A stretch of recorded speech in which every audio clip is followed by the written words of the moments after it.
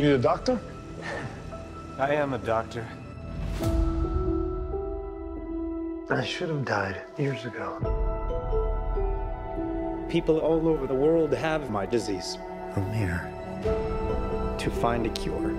We have to push the boundaries, take the risks. If you're gonna run, Do it now.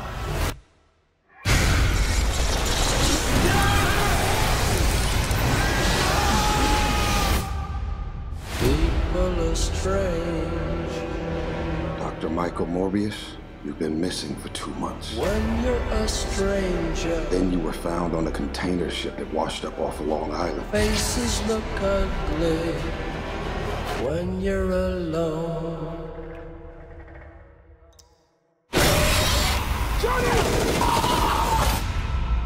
What did you do to yourself, Doctor? I wish I knew.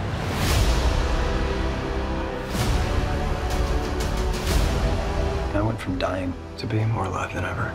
It worked. Not exactly. I have increased strength and speed and some form of bat radar. What else can I do?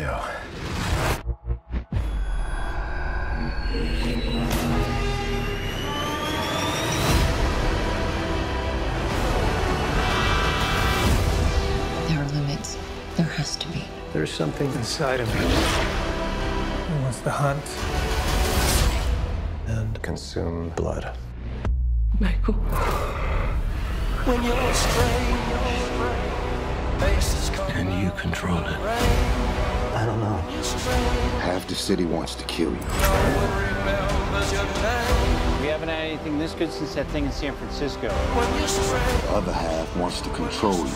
Hey, uh, Dr. Mike, you and I should stay in touch. I'd do anything to save a life. Don't know what I'm capable of. You save lives, you don't take them. Are you here to heal the world?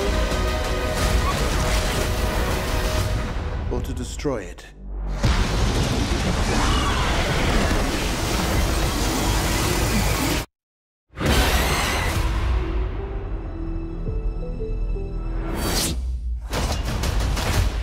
Hell are you, man? I am Venom. I'm just kidding. It's Dr. Michael Morbius at your service. Welcome back, everyone. This will be my new Morbius trailer video. There's a whole bunch of Easter eggs here for a bunch of different Spider Man franchises Tobey Maguire's Spider Man, Andrew Garfield's Spider Man because of the Oscorp logo, and Spider Man No Way Home, as well as Venom Let There Be Carnage. So we'll break it all down. If you're brand new to the channel, be sure to subscribe to get all the videos. Obviously, we have a lot of Spider-Man No Way Home stuff coming up really soon too, sort of explaining how they're all bringing this together. Although if you've seen Venom Let There Be Carnage, it kind of explains how the Earth that Morbius comes from, now pretty much confirmed to be the same Earth that Venom comes from, connects to Spider-Man No Way Home in the Marvel MCU multiverse. But it is crazy here. We have him referring to himself as Venom, like he says, I am Venom, literally in the trailer. You have the Andrew Garfield Amazing Spider Man Oscorp logo, the same Tobey Maguire Daily Bugle logo, but the murder plot points from Tom Holland's Spider Man No Way Home. It's almost like the Sony and the Marvel people have turned into the WandaVision meme, trying to connect all these dots. I already talked about all the Easter eggs here, but the extra Easter eggs that they include on this version of the Daily Bugle with the logo from the Tobey Maguire Spider-Man movies are Rhino and Black Cat Easter eggs. Like, is the Black Cat going to show up during this movie? Is the Rhino going to show up during this movie? Sony is developing a spin-off movie for the Black Cat character. I don't know when we're going to see that, but I believe that's what those Easter eggs are meant to tease. As for Rhino, I have no idea what they're going to do with that character or which version it would be because the last time we saw the Rhino, it was really, really silly. I have a hard time believing that they would bring that back unless they do a slightly different version.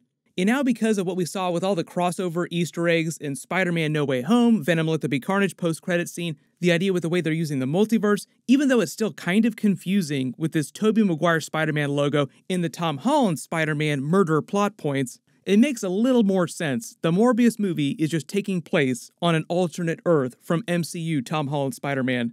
The whole thing with Michael Keaton's Vulture, he was in prison in the New York City area at the end of Spider Man Homecoming, so I believe that's the connection they're trying to make during this film.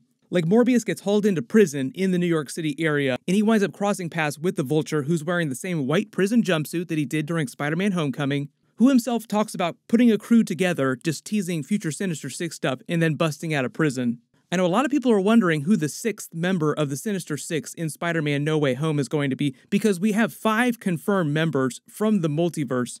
Right now, I'm assuming that Vulture is probably the best candidate for that sixth member, but I don't know if he's actually in the movie. They might just reference him because six extra villain characters is a lot to put in a single movie. They start with Morbius going to find the bat DNA that winds up giving him his powers. So the whole idea is that Morbius is called the living vampire in the comics because he's not undead. He doesn't get his powers by being bit by another vampire like Dracula or by being bit by a vampire bat. He winds up combining special bat DNA with electroshock therapy, and that gives him his powers, so he doesn't die to get his powers. That's why he's not undead.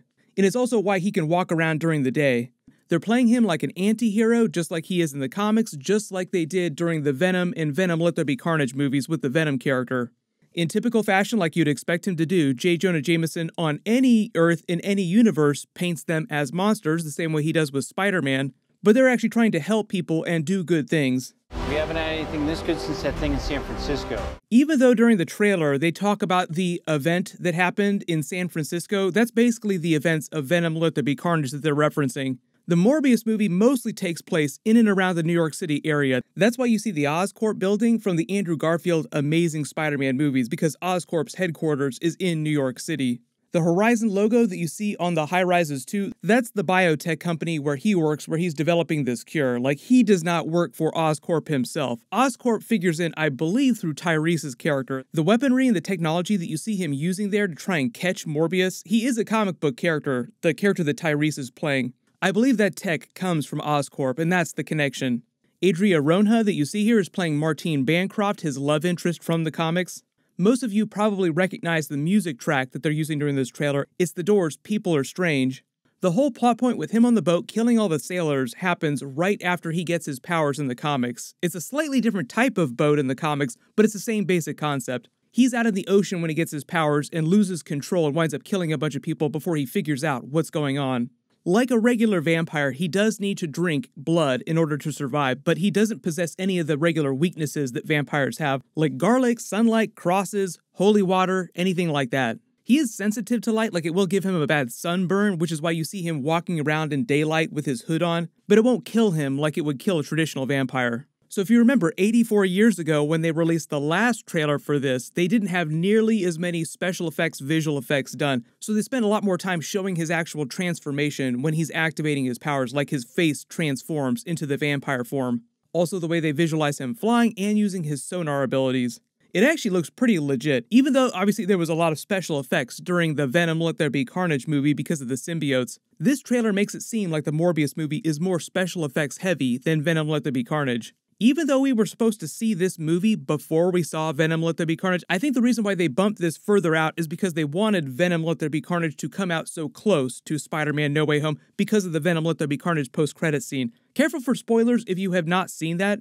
During that post credit scene, he winds up getting transported to the MCU Earth where he sees a broadcast of J. Jonah Jameson from the MCU yelling about Tom Holland Spider Man with him on screen, like with his mask off, so you see that it's Tom Holland Spider Man. We'll see if something similar winds up happening to the Morbius character, but I have a feeling the connection to Spider Man No Way Home, the Tom Holland Spider Man movies, will just be through the Michael Keaton Vulture character who says we should keep in touch. I believe that'll be their connection to Sinister Six stuff in the future, even though Morbius himself will not be a Sinister Six character.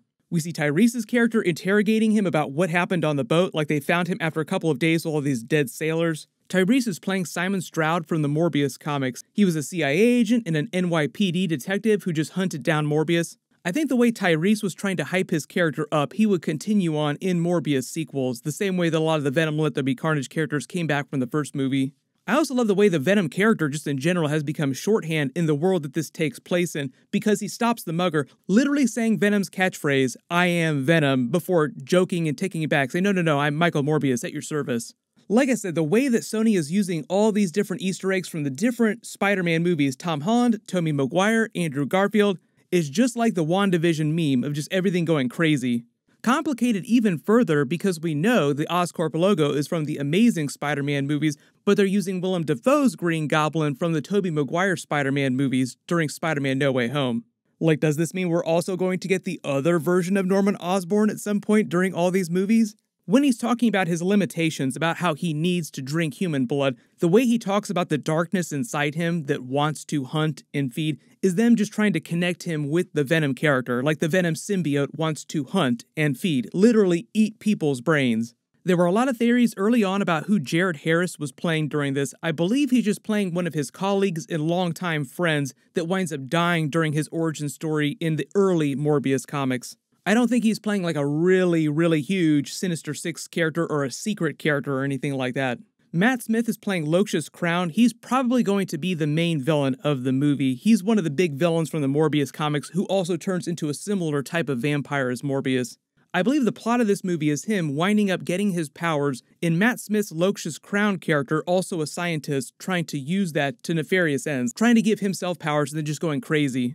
So I would say this movie shares more in common with Venom Let There Be Carnage than it does the first Venom movie. Like you have a villain who gains the same type of powers that the hero has and then tries to go nuts. Another connection to the Tom Holland Spider Man movies, they have a very similar stairwell scene where he's flying up the stairwell using his powers the same way that Vulture, if you remember from way back in Spider Man Homecoming, came down the stairway. Even though technically it's a different building, the way they film it makes it seem similar to that Vulture scene.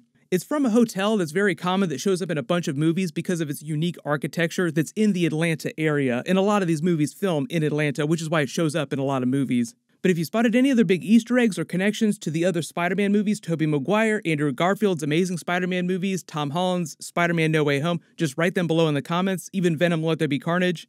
The trailer says the movie is still scheduled to come out in January, so we won't have to wait that long after Spider Man No Way Home to just find out exactly what's going on and how they're connecting this to everything. We'll get that next Spider Man No Way Home trailer in the next couple of weeks. We're also going to have Disney Plus Day with a whole bunch of trailers for the Marvel Disney Plus series as well as the Star Wars Disney Plus series. So it is going to be like Trailer City during November. And because the Eternals movie is coming out this week, my full Eternals post credit scene and Easter eggs and breakdown videos for that movie will post later this week so make sure to go see that movie when you have a chance. While you wait for everything, click here for my video on that first look at Green Goblin in Spider-Man No Way Home, and click here for my Venom Let There Be Carnage post-credit scene video. Thank you so much for watching, everyone stay safe, and I'll see you guys in the next one.